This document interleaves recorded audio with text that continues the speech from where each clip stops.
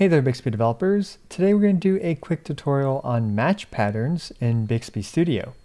So what exactly are match patterns within Bixby Studio? Basically, when you are in some kind of layout file, like for example, an input view or result view, you have access to this match key.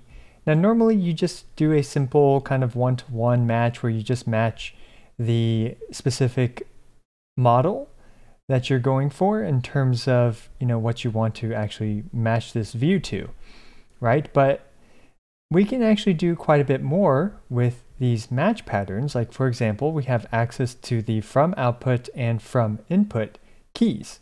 And we're going to take a look at what exactly you can do with these and how useful they can be for your capsule to increase engagement. And we're going to be doing something similar to this example right here that you can see down below but we're going to, you know, I guess uh, live code it with one of my capsules. And we're just going to do it with the copycat capsule that I created. What would you like me to say? Hello with a British accent. And here we can actually change the voice. Which charming voice would you like me to change to? To actually have Bixby say it with a British accent. Hello with a British accent. And we can also change the input as well. What would you like me to say?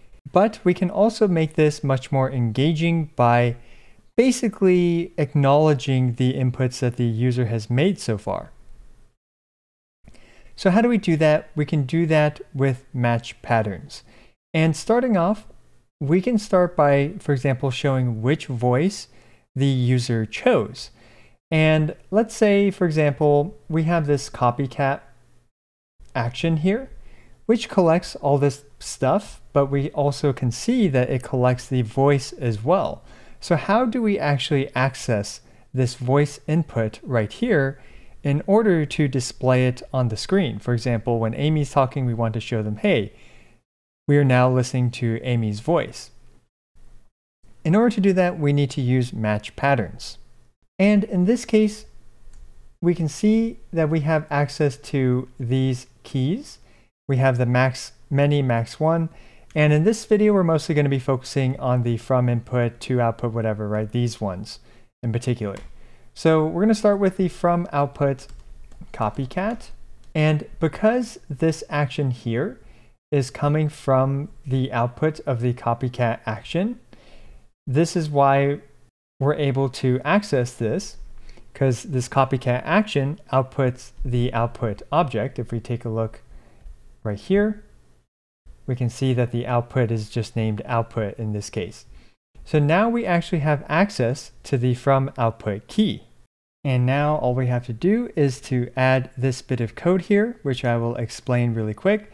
Basically, this checks to see if copycat, the action, has the voice inside of it, which we, if we take a look here, again, it is right here. It is one of the inputs. And if, of course, it exists, then we display a single line where we end up displaying now speaking and the voice that's currently speaking.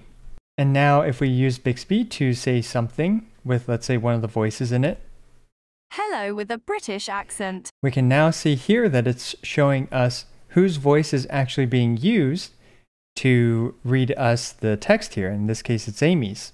But of course, that is just one simple application of these match patterns. And in this case, for example, it allows you access to the inputs inside of this action. But we can also utilize this in an input view as well. So in this example, we're going to actually show the user if they've selected a voice, we're going to show them what voice they have selected.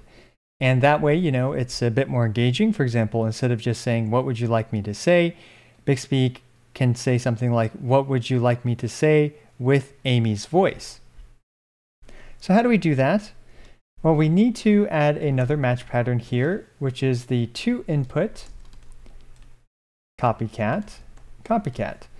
And this capsule, for example, basically what it does is we have the copycat model and if you want to, for example, change the input that goes in it, it ends up calling the get input, which basically fills out the input key right here.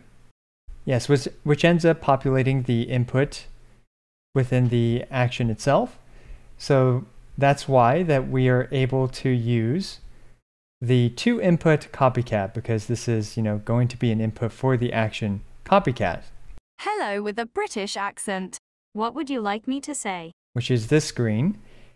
And now that we are at this screen, we can have it say, what would you like me to say with whomever's voice? So in order to do that, we just use the standard Bixby notation in this case. Copycat.voice. Say with apostrophe s voice.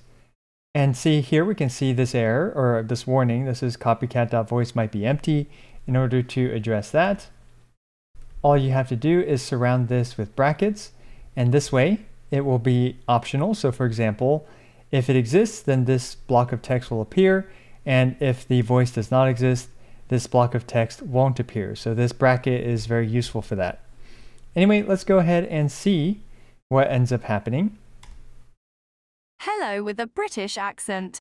Change input. What would you like me to say with Amy's voice? And now we can see that here it is showing us that we have Amy's voice selected. The next thing that I think is a useful feature is, for example, let's say you don't want to lose this text here that you had already inputted, and let's say you want to change the input. What would you like me to say with Amy's voice? You can see here that this box is now, you know, empty, basically, right? There's no text here, and now I have to type this whole thing again in order to basically start from where I left off. Now, what we can actually do is we can still access the last input for, you know, the user, whatever the last input was that the user put in. Because in my modeling, I have the last input actually as one of the keys and as well as an input for the copycat action. So this is actually preserved as the last input, and therefore we will be able to access it within our action. So now if we save this and start over, Hello with a British accent. but this time when we click change input, we can expect to see the last input there. What would you like me to say with Amy's voice? There it is. And now I can simply edit this without having to retype out the entire phrase again. Hello with a British accent. How spectacular. And just like that, we've already added some nice additional functionality by using these simple match patterns. And I highly recommend implementing them, especially if you want to, you know, kind of improve immersion. That way, you know, Bixby continuously acknowledges your current or previous inputs or settings for your capsule. And that way, you know, the user will also realize, oh, okay, now I'm still using Amy's voice and I'm changing the input in this example. So yes, now that you know how to do this, the possibilities are essentially endless, and I'm excited to see what you end up doing with this knowledge. And really quick, I wanted to mention that match patterns can be used not just in layout and view files, but also support files like navigation support and activity support. I'll link down below in the description an example of navigation support using match patterns. And yeah, that's it.